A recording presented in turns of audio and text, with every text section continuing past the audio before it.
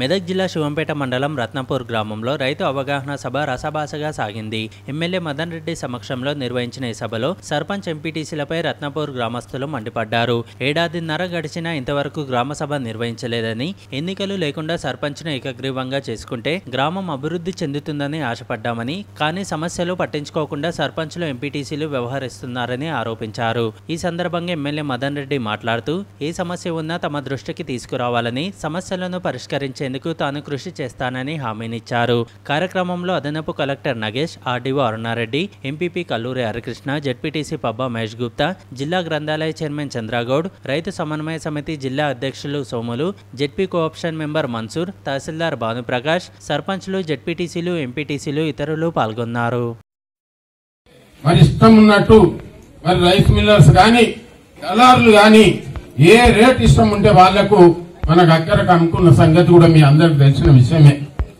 ఇవాళ గ్రామ గ్రామాన కూడా ఐకేపీ సెంటర్స్ కానీ పిఎస్ఎస్ సెంటర్స్ కానీ ఇవాళ ఏర్పాటు చేసి ప్రతి ధాన్యం గింజను కూడా మనం కొంటున్నాం అనేది కూడా మీరు మర్చిపోకూడదు. మరి అందరికి కూడా డబ్బులు కూడా ఎనిమిది రోజులలోనే మన ఖాతాలలో పడిపోతున్నాయి నాలుగు రోజులకు వస్తున్నాయి ఎనిమిది రోజులకు వస్తున్నాయి. డబ్బుల గ్యారంటీ బ్రహ్మాండంగా ఇవాళ రైతాంగం అంతా కూడా చాలా సంతోషంగా ఉన్నది. మొన్న మంత్రి గారు వచ్చినప్పుడు మెదక్లో సమావేశం పెట్టినప్పుడు మరి మన బడ్జెట్లో యాభై అరవై పర్సెంట్ రైతుల పైనే ఇవాళ మనం ఖర్చు చేస్తున్నాం అనేది కూడా మీరు మర్చిపోకూడదు.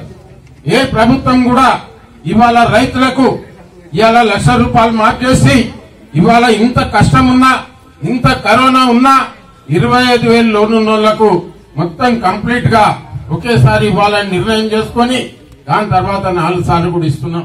కూడా చూడడం జరుగుతా ఉంది. మొన్ననే మరి మేము జాయింట్ కలెక్టర్గా నేను ఈ వరి ధాన్యం సేకరణలో నేనే ముందుండి నా అధికార బాధ్యతగా చేయడం జరిగింది. దానిలో దాదాపుగా లక్ష డెబ్బై ఐదు వేలు ఇప్పటివరకే మనం కొన్నాం. లక్ష డెబ్బై ఐదు వేల మెట్రిక్ టన్ల దొడ్డు వరి ధాన్యాన్ని మనం కొన్నాం. ఆ వరి ధాన్యంలో మన జిల్లాకు కావాల్సింది కేవలం ఒక యాభై వేల మెట్రిక్ టన్లే మనము రూపాయి కిలో బియ్యం కింద దాన్ని మిల్లర్లకు ఇచ్చి దాన్ని వడ్లుగా వడ్లను రైస్గా బియ్యంగా చేసి మనం మళ్ళా పంపిణీ చేస్తాం. మరి ఆ ఇచ్చిన రూపాయి కిలో బియ్యంలో ఎంత మరి తింటున్నారు ఎంత అది బయటకు పోతుంది అనేది కూడా మీకే తెలుసు. నేను చెప్పక్కర్లేదు దాన్ని మరి మిగతాదంతా ఏమవుతుందంటే మనం కేంద్ర ప్రభుత్వం ఎఫ్సిఐకి ఇస్తాం. ఎఫ్సిఐ వాళ్ళు వేరే రాష్ట్రాలకి అవసరం ఉన్నప్పుడు తీసుకొని ఇస్తారు. కానీ అది వెంటనే తీసుకోరు. మనం త్వరగానే తీసుకోరు వాళ్ళు. దానికి టైం పడుతుంది. మూడు నెలలు టైం పడుతుంది లేదా సంవత్సరం కూడా పడుతుంది.